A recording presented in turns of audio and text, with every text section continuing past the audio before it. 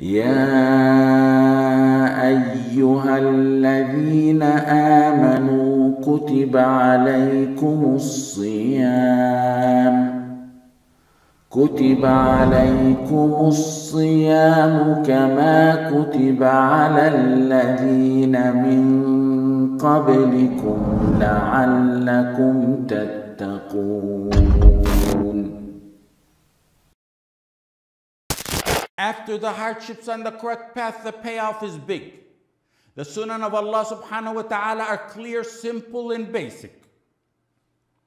No rocket scientist can circumvent them, and no power on this earth can halt them. And they don't need a genius to figure them out. They're simple and clear. وعد الله الذين آمنوا منكم وعملوا الصالحات لا يستخلفنهم في الأرض كما استخلف الذين من قبلهم. وليمكنن لهم دينهم الذي ارتضى لهم وليبدلنهم من بعد خوفهم امنا يعبدونني لا يشركون بي شيئا.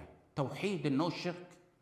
That's why on the mountain of As-Safa it was لا إله إلا الله He called for لا إله إلا الله on the mountain of As-Safa. He called for لا إله إلا الله in Dar al-Arqam صلى الله عليه وسلم In the courtyard of Al-Masjid al-Haram. At the doorsteps of the houses, in the alleys of Mecca. Years and years of teaching, repeating, reiterating Tawheed in the houses and in the market to individuals and in all gatherings to the believers and to the non believers, to the youth, to the women, to the men, to the children, to the elder. La ilaha illallah. That is how he was able to raise the most successful generation in the shortest time who led the globe with lightning speed. Once they established Tawheed and raised the pure banners, and after they liberated their hearts and actions from anything other than Allah subhanahu wa ta'ala, they were then worthy of the promised victory from the one who never breaks his promises. The Tawheed that the Messenger sallallahu alayhi wasallam left them on before jo- joining the highest companion left them on a strong foundation. It taught them who was a murtad and who wasn't. They overcame the challenges with Tawheed. Abu Ubaid al-Qasim ibn Salam ibn Abdullah in Kitab al-Iman, he said pertaining to the matter of Ridda, he said the jihad of Abu Bakr as-Siddiq and the Muhajirin and Ansar radiallahu anhum against the ones who denied giving the zakah was identical to the Messenger sallallahu alaihi wasallam's jihad towards the people of shirk with no difference between them, even if they didn't deny it as a concept of Islam.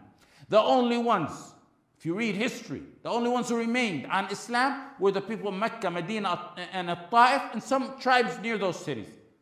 The challenge of the Murtaddin alone was sufficient to crumble the Islamic nation and bring it to ruins had it not been built on strong foundation, the Tawheed that the Messenger ﷺ constructed it on. With knowledge of Tawheed, the Messenger ﷺ that left them on, they were able to know the rulings and status of people and how to deal with them.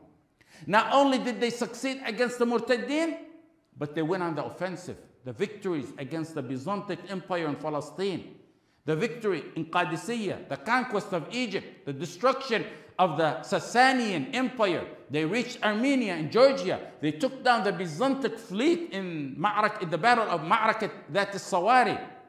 That's just a glimpse during the Khulafa al-Rashidin who were raised by the Messenger sallallahu alaihi wasallam firsthand on Tawheed. That's what Tawheed forms. A child we raise on al-usul, al-thalatha will stand to the biggest of their shuyukh and fools. Like those who shamelessly and boldly call a leader of a secularist country a khalifa. What tawheed did they learn and understand? What tawheed does one who considers a leader of a secularist country who violated the most basic, important, essential rules of wala and bara, which is la ilaha illallah and tawheed, and replaces the sharia of Allah a khalifa? Then someone boldly alleges, oh, they don't know fiqh al-waqi', that's why they can't understand how he's a khalifa. And we say, you don't know what tawheed is.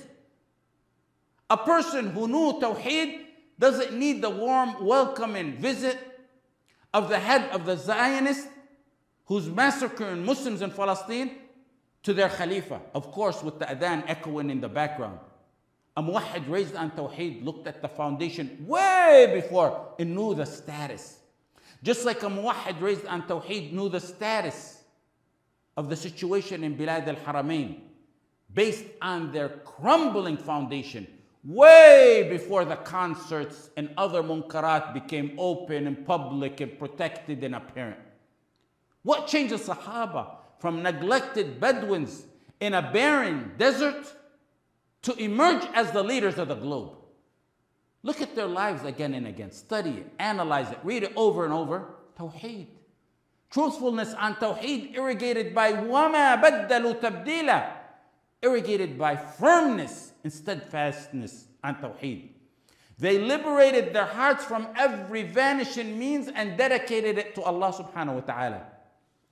Even after the khulafa who were directly raised under the hands of Rasulullah sallallahu there came a time when a Muslim would walk from Tanja in Morocco to Baghdad in Iraq, from the shores of the Pacific Ocean to the shores of the Atlantic Ocean, needing nothing more than La ilaha illallah as his ID. Anywhere he arrived, he was greeted by people of various colors in different tongues.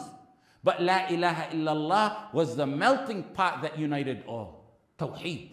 Tawheed penetrated the hearts and pumped life into it. أَوَمَنْ كَانَ مَيْتًا فَأَحْيَيْنَاهُ وَجَعَلْنَا لَهُ نُورًا يَمْشِي بِهِ فِي النَّاسِ Tawheed appeared in their action.